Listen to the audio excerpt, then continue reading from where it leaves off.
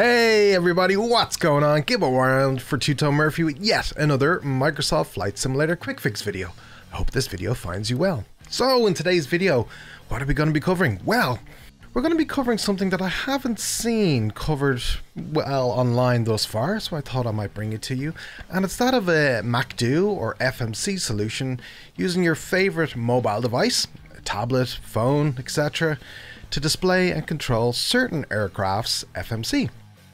In this video, we're going to jump straight into it. I'm going to jump straight into a demo showing it off in action, uh, and then I'll cover what it is that I'm using, how easy it is to set up, uh, its pricing, uh, but also be sure to stick around at the end for just one more thing right at the end that I thought might interest you too.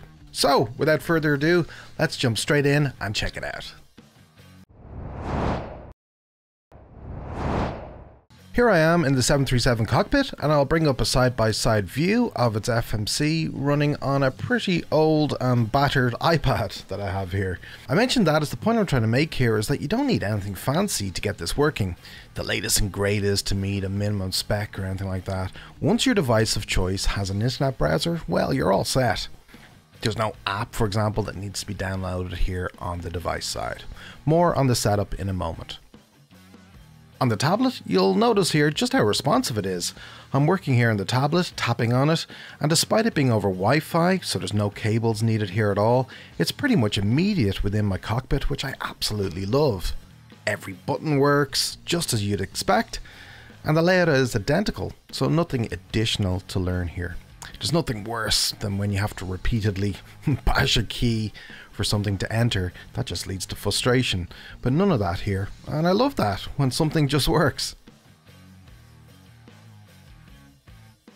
A lot of the time, right? And I think we've all been there, you need to spend a few minutes in the FMC to program it in.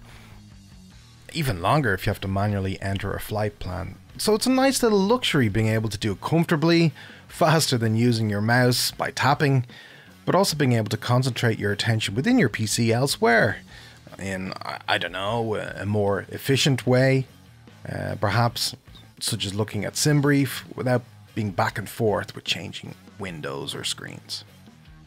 So yeah, it does what you'd expect, which I think is exactly what you would want with something like this, I think. Uh, is it complicated to get going and, and tough to get set up? Not at all. Let me show you.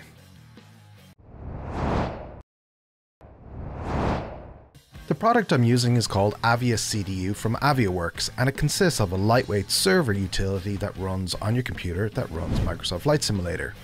It's this app called Avia Server that your mobile device connects to via its browser. Once installed, you'll find it in your taskbar and there's minimal enough configuration involved in this little utility. You can check your license status, you can see I have it here for the 7.3, uh, and if you're on the fence about this or just are keen to see if it even works, you can do a tap limited demo as well, which is nice.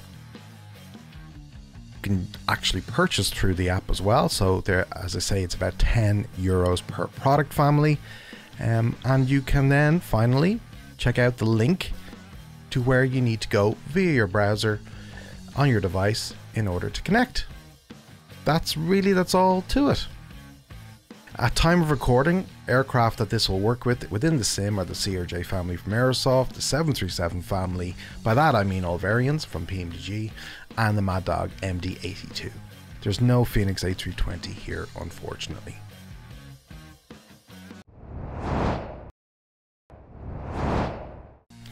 Now, before I finish up, I did mention one last thing that might interest you that I quickly wanted to mention, and if it does, be sure to leave a comment below, let me know what you think, and if you'd like us to perhaps cover it in a future video.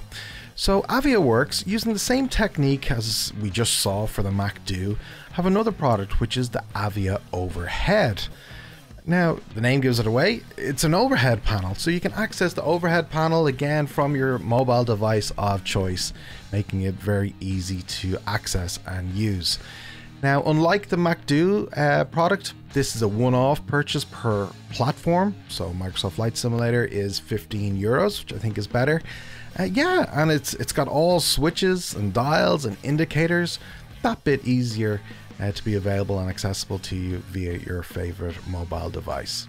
So I think I just need to figure out a way for that realism factor to have it overhead, a tablet overhead, to make this work. Hmm, home cockpit perhaps. Hmm. Let me know what you think, and if indeed if you'd like us to cover it some more.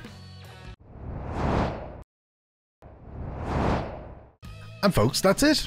I really do hope you found this video useful. If you did, you might please give the thumbs button a like and even consider subscribing. Don't forget, Tone Murphy himself streams Monday, Wednesday, and Friday at 2000 Zulu live on Twitch at twitch.tv slash Murphy. And yes, I'll be back again soon. Until the next one, thanks again for watching and take care.